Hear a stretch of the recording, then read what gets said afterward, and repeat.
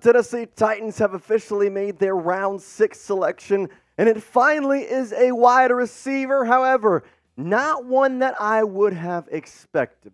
Jha'Quan Jackson out of Tulane, you're headed to Nashville. We'll discuss what this means and what Jha'Quan Jackson is and why I may be a little bit upset about this pick all right here on Titans Today. I am your host, Jace Andrews. Let's get into the pick. Jha'Quan Jackson, 5'9, 188 pounds. The number 201 overall prospect. Once again, Ryan Cal- excuse me, Brian Brian Callahan and Ran Carthon, in my mind, reach once again at pick 182.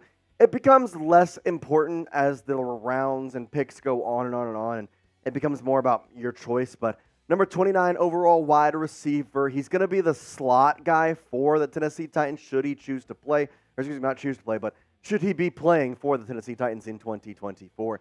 That's really where he has been able to succeed. The one thing that I can reason with myself why they took Jha'Quan Jackson over guys like Brenden Rice and Malik Washington is because his return ability is actually really, really good and maybe better than Malik Washington or, of course, Brenden Rice. He has the speed and burst, which is exactly why I think he is a great choice for the Tennessee Titans in terms of the return game. I know he has been great with making plays downfield. However, if you've been watching this show for the past couple weeks, you know that that's not really the wide receiver I was looking for in this draft. I was looking for a bit more of a shifty guy because, in my mind, you have Calvin Ridley, who was a deep threat. You have DeAndre Hopkins, who was a deep threat. Treylon Burks was supposed to be that shifty under route guy. It's not it. Maybe he could be this year. Maybe they trusted him more than I think, but I would want somebody like that, like a Troy Franklin, like a Malik Washington, like somewhat of a Brandon Rice. I think it would work out. I know Bryce had a lot of success going up and potentially being the deep threat as well, but still, in this situation, I just truly don't see the big appeal with Jha'Quan Jackson. He's extremely limited in production. I, he really struggles in 50 50 balls, and I think given that Will Levis is going to be in his second year here, you're trying to give him the best available. They may turn Jha'Quan Jackson into that under shifty route type of guy. Playing in the slot, he could be a lot of different things. I'm wondering, though, if the draft pick here was more for return man, given that you have Tyjae Spears, but with the new rule and the whole kickoff being different, maybe they want two return men. Maybe they want somebody different for the punt return and kick return. Well, guess what? I think this has a potential to be a return guy in day one with Jha'Quan Jackson. How do we feel about this pick? Do you like it? Well, type Y for yes. Do you not like it?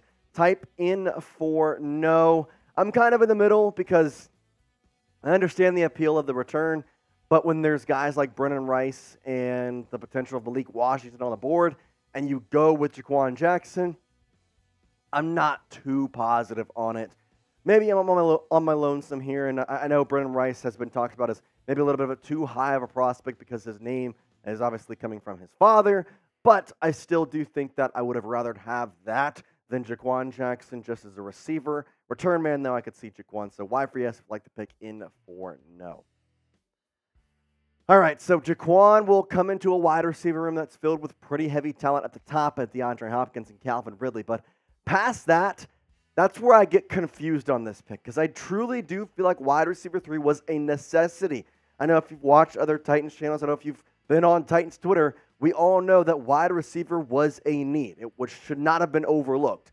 And I think they kind of did. I think they kind of did here as it took to round six to pick a wide receiver. And it's somebody that I could see maybe being a return man, but Besides that, I don't think he cracks the top four here. I would take Treylon Burks, Nick Westbrook-Ikhine, and even Kyle Phillips probably over him right away. Now, that's not to say he can't come in here and take it. And it's just kind of crazy. I mean, there's a couple guys. You got Brandon Rice. You have, of course, Johnny Wilson was on the board. I mean, I, it's just the questions just keep arising as to why they chose to take John uh, Jha'Quan Jackson. I know maybe I'm being a little bit too hard. Maybe it's one of those situations where I just have to wait and see, but – right now, I'm not the highest on this pick because, again, I think it's just a little bit of a reach considering there were other guys that I personally valued higher on the board. I always value Gametime at number one on my board, though, because that's where I go for all my ticketing needs, ticketing events, everything. I got it covered with Gametime, so you can go check it out and get $20 off your first purchase by using code CHATSPORTS at the redeem code section. They've got you covered on pretty much everything, and they know that you shouldn't have to worry about buying those tickets, especially at the last minute. So Gametime is not only fast, it's easy. And like I said, they've got your tickets covered for sports, for music, for comedy, for theater, anything in your area. Gametime has you covered with killer last minute deals, views from your seat, and their best price guarantee. Gametime is going to make sure you are stocked and loaded for the NHL playoffs, for the NBA playoffs, everything they have you covered. So there's some amazing things in there. First of all, you can see your pictures of your seat before you even buy the tickets. They have last minute ticket deals like no other where you can get the tickets up to the start of the event and even an hour after it starts. And with stuff like flash deals and zone deals, you're always going to be sure that you get the best price.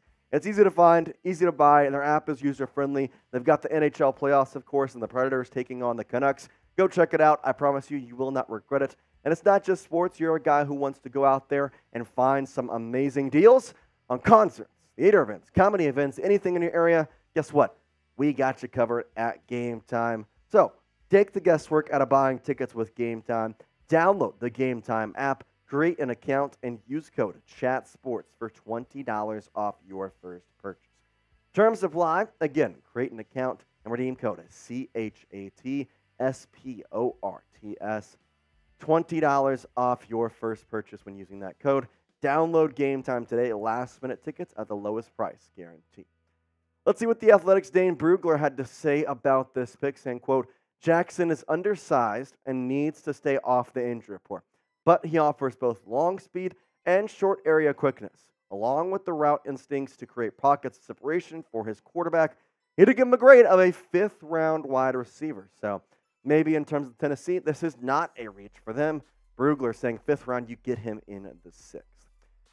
Stats don't really show that positives, though, that I'm seeing. 439 yards in 2023. Now, granted, he played on Tulane, so lots of question marks when you're not playing for a Power 5 school. I know that obviously it's a big transition from the college level to the NFL level, but it's also a big transition in my mind from the, say, lower ranks of college football to the Power 5 ranks. So I'm curious to see how that will go. Four touchdowns in 2023, not too shabby considering he only had 26 receptions.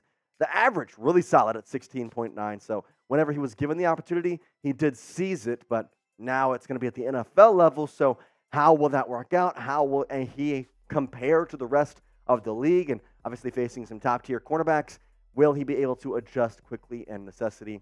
I don't know. I think he's probably going to be the back half of the wide receiver room. Probably return man is where we see him. So let's take a look at the Titans as a whole and where we stand right now because they only have two more picks left coming up here in the seventh round.